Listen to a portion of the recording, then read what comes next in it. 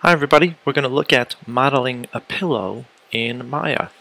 Alright, so first I'm going to start with a cube and kind of make like a little bit of a rectangular shape here. And it's going to be pretty thin to begin with. So something about like that. Um, just going to maybe just shrink. Okay, so now uh, we're going to add some divisions, so make sure you select it on the button right next to here, next to the, the man with the T-pose. We're going to go to the attribute editor, and I'm going to be looking for polycube, and we have subdivisions. So I'm going to make this 10, and we'll make it 10 in depth as well. And for the height, I'll make it 5. Okay. So what we're going to do is inflate this pillow. So to do that, we need to convert it to nCloth. So I'm going to be looking for, I believe, the FX tab. So over here, drop down from modeling to FX. I'm going to come over to nCloth, and while the shape is selected, I'm going to go to nCloth, create nCloth. Okay, you'll notice that we have an nCloth and we have a nucleus that adds to this shape. So I'll start with nCloth and uh, we're going to look for the nCloth. We're going to start with the nCloth shape one here, and we're going to look at pressure. And the pressure I'm going to inflate with something like a maybe a 0.5.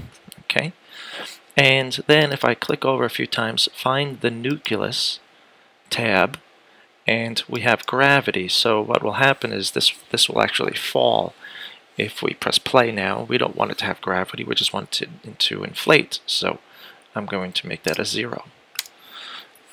And to make this inflate, we're just going to press play in the timeline. So right over here, I'm going to press play, and you can see we're inflating a pillow. Now you can inflate this as much as you want. You can add to that pressure under the nCloth Shape tab over here. So let me show you if I did a 10, rewind and play, let's see. You know what, I don't, maybe I didn't uh, press, yeah, press enter. Okay, so let's try that again. There it goes. so you can kind of see it's a little bit too much. 0.5 was enough for this. I'm going to rewind and play. Okay, good. So what you can do is pause it when you feel like it's okay or scrub your timeline. Sometimes you can scrub the timeline a bit, but I'm, I'm going to rewind, play again, and pause it when I feel like I have a good shape. Alright, so I'm going to pause it here. Now let's start to look at making this a little bit more realistic. I'm going to look for edge mode, and before I begin, actually I'm going to go back to object mode, and I'm going to tell this to not be animation anymore. And to do that, select on the pillow, and we're going to come up to create uh, nope modify uh, hold on it's under um, um, edit edit delete by type history. So now we've deleted its history. It doesn't remember that it's part of so it doesn't seem like it worked. Oh it did. Okay. So it doesn't remember that it was part of an nCloth anymore and Notice if I press play, nothing will happen. It's just become a model now. So let's start to um, add some details. I'm going to hold down right click and go to edge mode and I'm going to click on one edge and double click the next one in the row and if it should select this all the way across I'm going to do the same here holding shift and double click that I'm going to hold shift double click and last one double click. Then I'm going to do it to the one below here. Okay, select and double click the next.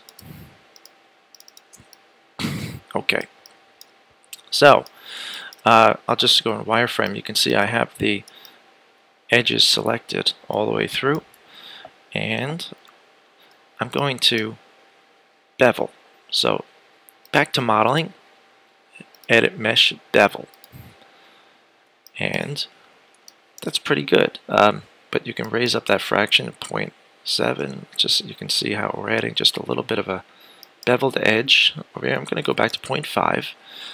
I'm going to select face mode, and what I want is now these faces, and I believe that get that gets it all the way around, so what I wanted. I'm going to do the same for this one, and we're going to kind of bevel it out. We're going to make the seam of the pillow. So I'm going to press uh, extrude, and a little blue arrow here. I'm just going to extrude this out. I'm going to take a closer look as I do this. And I believe that should be fine. Okay. Go back to object mode. So I have this. And if I press 3, I can see what this looks like smooth. And you can see I got a nice little shaped pillow here. Now that's only a preview smooth. If I press 1 and 3, 1 and 3 on the keyboard goes back and forth. 2 would be a, a hybrid of the two. You can see a wireframe, a hard-edged mode. Uh, if I press 3, or press 1, go back to hard edge mode, I'm going to go to Mesh Smooth to finish this off. And this will smooth it for real. Now you could smooth that again, or you can click on the Smooth, the Poly Smooth here, and I can add an extra division level I don't recommend it if you don't have a decent computer though. And you can kind of see now, uh, I've added some resolution to this. And we have a finished pillow. Okay, good luck and give it a try.